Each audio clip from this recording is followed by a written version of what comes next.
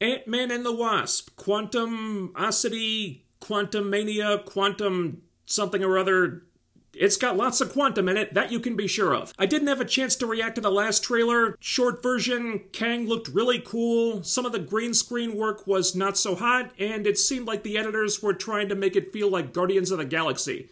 I don't know why. So I haven't watched this thing yet, but apparently the director Peyton Reed was tired of his Ant-Man movies being the palate cleanser after the big event films and wanted to do some huge blowout Avengers level thing. I'm here for it, but I'm not sure how many more gags you can milk out of the shrinking gimmick. Or maybe the point of this one is to ditch the gags and get more serious? I hope so. That's the direction I want the MCU to go in now. Getting away from the everything is a joke mentality that Taika Waititi beat to death several times over with Thor Love and Thunder. I don't know how a more serious tone would lend itself to a Scott Lang adventure. He's a strange choice for the one to introduce us to Kang, but I'm excited to see them try. I'll say this though. If, for whatever reason, getting more serious means there is no giant Hello Kitty Pez dispenser in this movie, then I'm calling bullshit on this whole thing. Let's watch. You're an interesting man, Scott Lang. You're an Avenger. You have a daughter. But you've lost a lot of time. Like me. What'd you do, Cassie?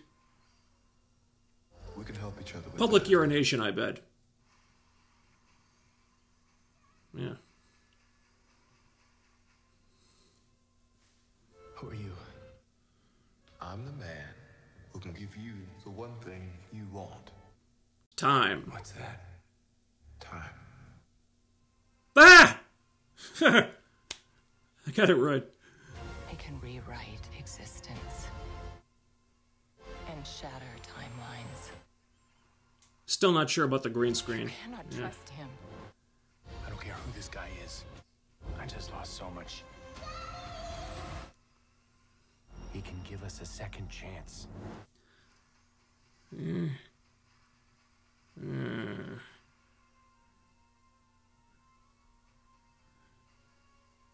I like the music much better in this one. You will bring me what I need. Oh, Everything you call life will end.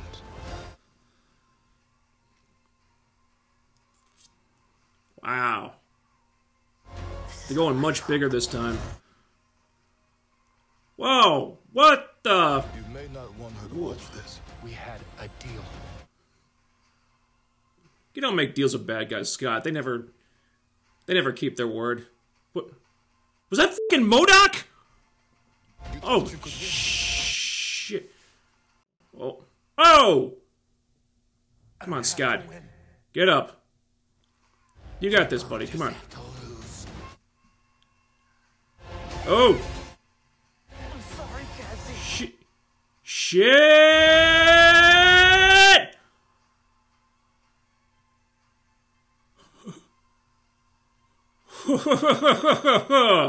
Damn! Okay, much better trailer than the last one. This definitely looks like the most interesting Ant Man movie. There's stuff I'm wondering about though. I'm still not sure why Marvel is so fascinated by this quantum realm thing. They're really going all in on this, and it's so weird. Like, some people are speculating that the Fantastic Four are going to be in there. I don't think they will be. But where is this all coming from? Is this going to be the MCU's version of the negative zone or something? I thought it had kind of served its purpose after Endgame, but it seems like they're using it as a blanket excuse to pull all sorts of rabbits out of the hat now. For instance, what the hell is frickin' MODOK doing in there? I mean, it's cool. I want to see what they do with it, sure, but why is he in the quantum realm of all places? What's he doing in an Ant-Man movie? Isn't he supposed to be affiliated with AIM? Yeah, Iron Man 3 cheated us out of a proper AIM, but you could still do it. Just say the organization restructured itself or something. Beats me what's going on there, but holy shit, he looks fucking great. Look at him, they nailed it. He's got the big fat head and the tiny limbs. He's cartoony and ridiculous and scary all at the same time, and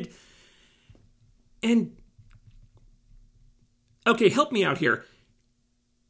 Is that the face of the dude who played Yellow Jacket in the first movie? It looks like it, and it's interesting thematically. It would kind of bring things full circle, but Why? How? Is he a yellow jacket variant or something? Again, they're using the quantum realm to justify all sorts of crazy crap. If they can explain it, great. But they can't just play the quantum card every time with stuff like this. It doesn't apply to everything, Marvel. So Kang is offering Scott time.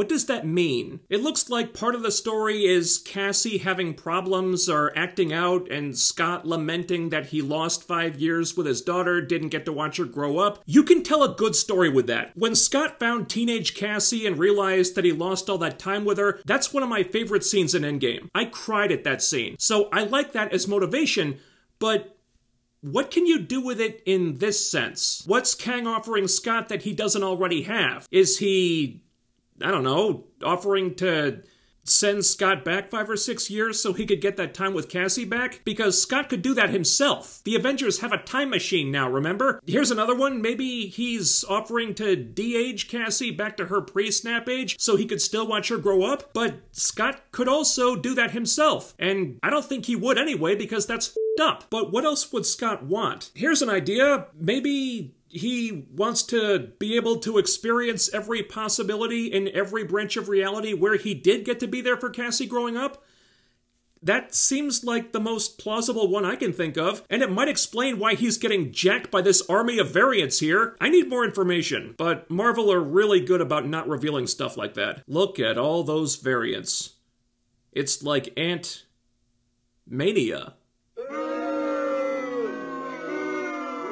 Off. Oh, Kang looks really good, you guys. Really fucking good. Jonathan Majors is a scary dude when he wants to be. And where'd this guy even come from anyway? I'd never heard of him before until he showed up in the Loki finale, and then suddenly he's in everything. Good for him, I guess. It looks like Kang is gonna be bad ass. And as bleak as this story seems, I don't see how Scott gets out of it. I really don't. If Scott's the reason why Kang is unleashed on the rest of the MCU, and it looks like that might be the case, I think there needs to be a price paid for that. I don't think he's gonna die. Here's what I think. I think this movie ends on a cliffhanger, with Scott's fate a big mystery. Maybe he's dead, maybe he's lost somewhere, no one knows. Then, in Avengers Kang Dynasty, he comes back, we find out where he's been this whole time. He's the one who fills the new Avengers team in on who this guy is, and he plays a key role in taking Kang down. They can't kill him yet. They can't. Scott deserves a movie where he's a proper Avenger from start to finish. After that, all bets are off, but I feel pretty safe guessing that he survives this movie. Will the new Avengers have enough quantumosity to defeat Kang the Conqueror? Only Scott Lang knows. I'm excited for Cassie to finally become stature in this film. Been waiting for that, even though the movie looks like it's gonna really screw her up. As in, emotionally, not ruining the character. I wish we had a better shot of her in the suit, though. I think that's her here. It'd be nice if she gets in on the action this time. And speaking of, it's weird to me that Marvel's been getting their ducks in a row for some kind of Young Avengers project for years now, and it still hasn't happened. I'm impressed with their patience, but that's a long damn time to prep for a team the fandom doesn't even seem that excited for. Fantastic Four and the X-Men, that's the whole conversation right now. And I don't particularly care that much either. Sure, give me more of Cassie and Kate Bishop, but I can take or leave the rest of them. But hey, the Guardians of the Galaxy weren't exactly A-listers before James Gunn came along, so who knows what'll happen with that. I can't really be sure here, but look at all these guys fighting in the background. Are those Ant-Man variants?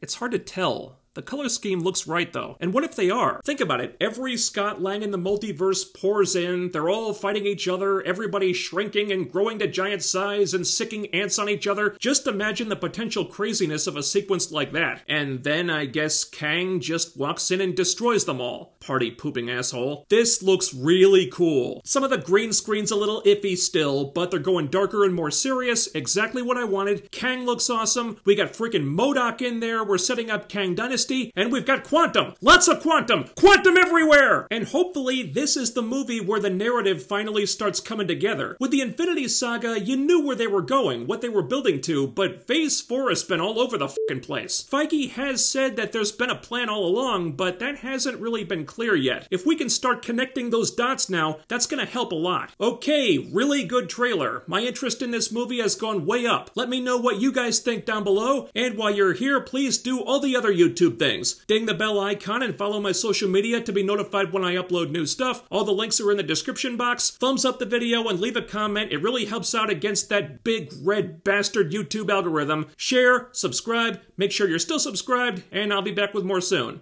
Take care, stay tuned. I'll see you next time.